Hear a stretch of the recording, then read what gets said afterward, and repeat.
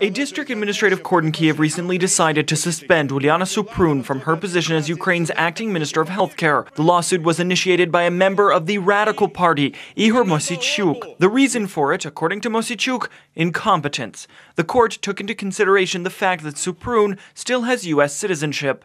The pharmaceutical mafia that Suprun is supposedly combating is flourishing for some reason. You cannot find the simplest things. The Prime Minister has immediately held consultations with the coalition and proposed for consideration to the Ukrainian parliament a new candidate for the post of healthcare minister. Ukraine's cabinet of ministers reacted to the decision of the court. The official statement says that Suprun is under pressure in every possible way, and that is all because of the corrupt schemes that are being combated by Suprun and her team. The acting minister herself stated that the court is just another way to hinder her actions.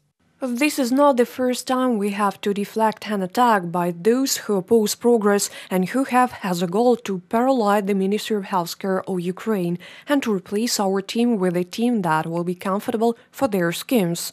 Truth and law are on our side, and in this case of the failed trial, we will win again. We will defend ourselves, as always, with your support. The Ukrainian president has supported Uliana Suprun. He announced he supports her wholeheartedly and noted that Ukrainian citizenship has been given to her by his presidential decree.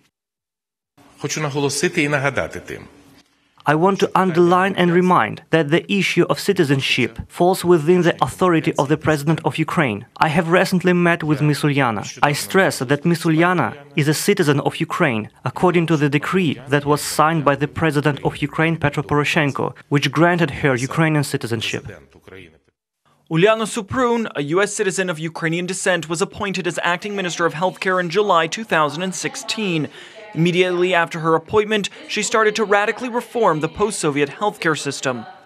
When there are changes happening, those that are um, uh, those that are against those changes because they're comfortable in the system that is. Uh, for them, they're making a lot of money. Uh, for them, uh, they're comfortable in um, knowing what the rules are because they make the rules. Instead, what we're doing is pulling back and we're saying there should be equal rules for everyone, and that each patient should have equal access to the quality health care that they don't have at this point. The introduction of the Affordable Medicine Program reform of the purchasing procedures of medicine and vaccines and the start of a healthcare insurance system was just a sliver of the full scope of reforms introduced by Suprun. 76% of patients who signed an agreement with their chosen family doctor are satisfied with their choice. According to the reform, patients are guaranteed a range of free tests, doctor's appointments, and vaccinations. Our level of financing is not sufficient, but is higher than ever. Our first aid and family health care has a budget for the next year 15 million hryvnias, which has never happened before. Usually it was 8 9 million. We have increased the budget of this sphere by one and a half times. The Ministry of Healthcare has announced that they consulted with lawyers before the trial. On February 15th, the District Court of Kiev will make a final decision in the case of Suprun. Reported by Artem Holub, UATV.